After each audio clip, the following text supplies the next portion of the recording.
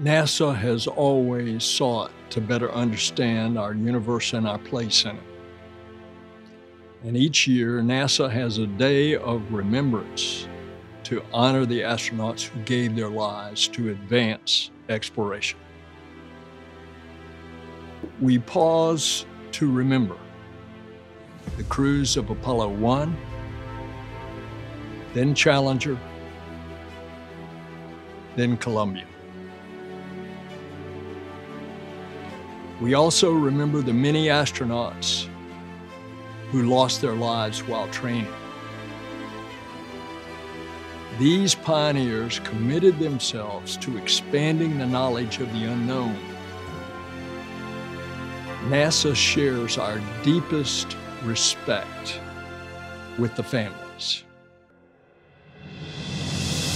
The astronauts' legacy will live on through you, the families, and through NASA through the United States, indeed, around the world. While it's a solemn day, it's a day of reflection. It's a day to honor their ultimate sacrifice in the pursuit of discovery, to honor adventurers who inspired generations of future explorers, and they made life better here on Earth as we prepare to explore further than ever before.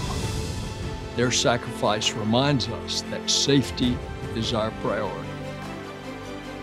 To go back to the moon and beyond will require us to do things that we've never done before.